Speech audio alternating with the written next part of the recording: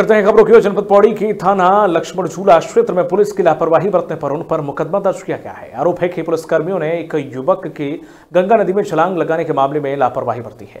SSP Shweta Choubey ने लोगों से अपील करते हुए कहा है कि अनावश्यक इस मामले को तूल न दिया जाए। उन्होंने कहा है कि विभाग के अधिकारी मामले की जाँच पड़ताल कर रहे हैं। जाँच के बाद लापरवाही बरतने वाले पुलिसकर्मियों के खिलाफ विभाग की कार्रवाई की जाएगी। साथ ही इस मामले पर देहरादून पुलिस भी जाँच कर रही है।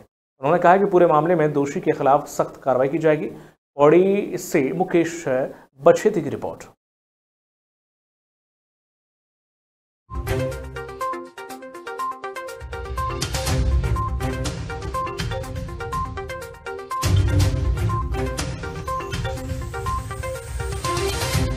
सिंह नामक एक युवक को चौकी के कुछ कर्मियों द्वारा संदिग्ध अवस्था में आ, मिला।